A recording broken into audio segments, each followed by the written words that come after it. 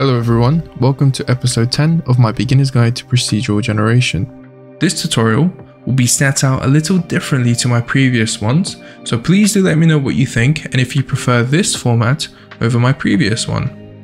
This episode, we will be continuing our understanding of how we can utilize the node system to procedurally generate levels.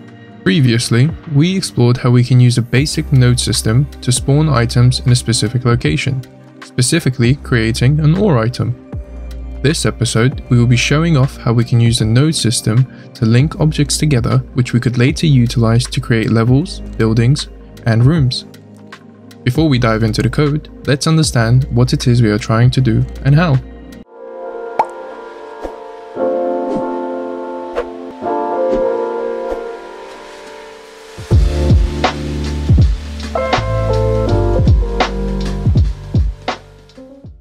For a quick recap, a node system can be easily explained as a set of points or locations which we will use to connect or spawn objects.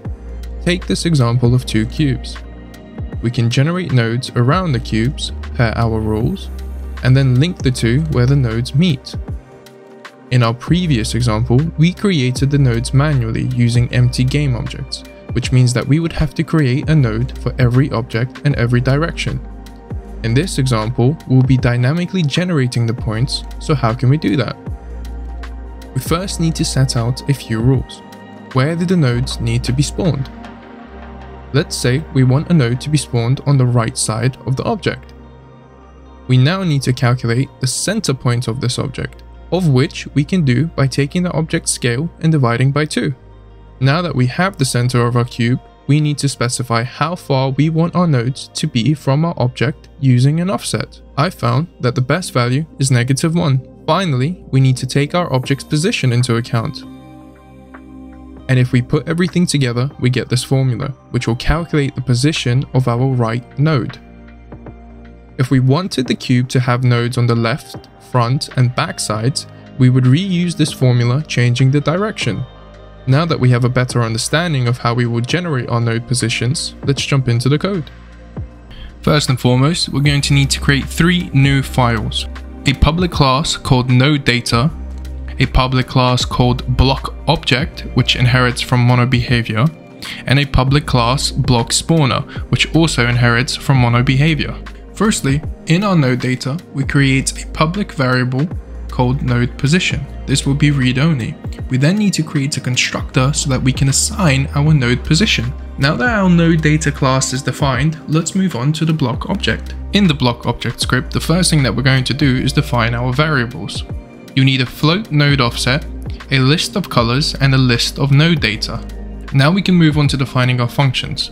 The first thing we're going to do is our onDraw gizmos. What we want to do is be able to see the points on the objects themselves so that we know that our calculations are correct.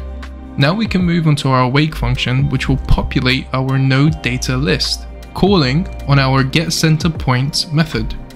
Now we can move on to our getCenterPoints which is the bulk of our calculations of the points.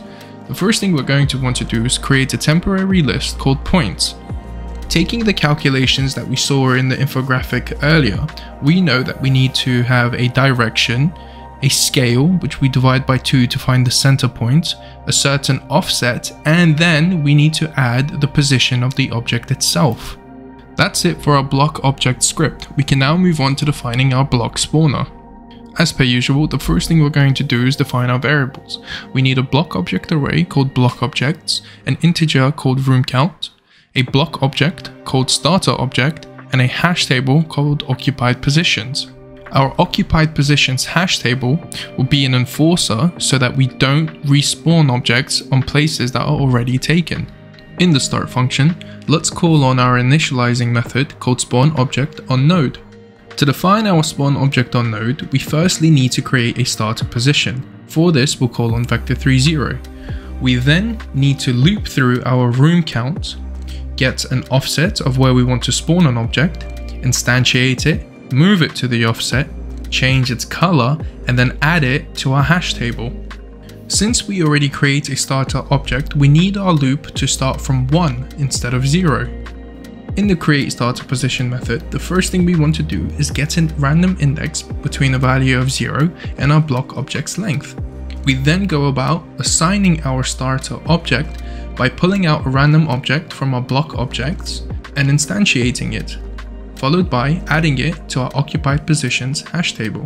Moving on to generating our offset value, we once again get a random index between 0 and our node data. We then extract the node data and assign it to the selected node. Now we need to do some checks. We need to check if the position that we want to spawn on is already existent in our occupied positions hash table. If the position does exist, we enter recursion by recalling the same method until our if condition is false. We can then take our current object's position, add our node position, and multiply that data by 2. And finally, we move on to the change object color method. We once again get a random index between 0 and our colors list. We then pull out the renderer and assign that color to the object itself. We've created and defined all our scripts. We can now move into Unity. In Unity, the first thing we want to do is create an empty game object called manager. Then we assign it the block spawner script and later we'll populate it with our block objects and our room count. Moving on to defining our actual block object, first thing we need to do is create a 3D cube, followed by attaching the block object script to then let's populate some colors. Once that's done, let's convert this cube into a prefab by dragging it into our assets folder.